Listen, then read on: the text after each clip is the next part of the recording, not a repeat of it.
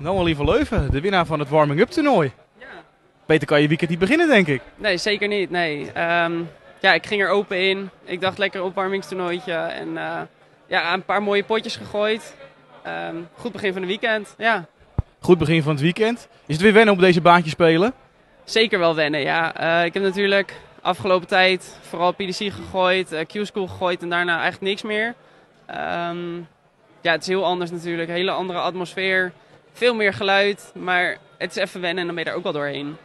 Ja, even terug naar Q-School. Zo slecht ging het eigenlijk niet. Maar toch besloot je te stoppen. Nee, het ging zeker wel goed. Eh, ik ben Q-School gaan gooien omdat ik Challenge Tour wilde gooien. Ehm, dus ik dacht, nou, ik ga twee dagen gooien. Plaats ik me daarin voor Final Stage, ga ik wel terug. Eh, maar ik had een dag tussendoor dat ik moest werken, helaas. Eh, ik denk dat als ik nog een dag had gegooid, dat ik Final Stage wel gehaald. Een paar echt goede potjes gegooid. Een paar ja, wat grotere namen verslagen. Ehm, ja, goed begin eigenlijk. En volgend jaar misschien een serieuze poging. Serieuze poging.